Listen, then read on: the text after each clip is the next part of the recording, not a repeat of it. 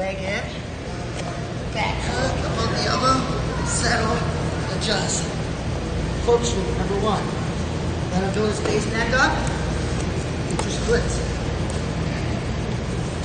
Another point, if you're in the crotch, it's easier for him to extend. But if I take this lock and slide it out to the knee, it's a lot harder to extend, right? Extend. Three, base again, to the arm.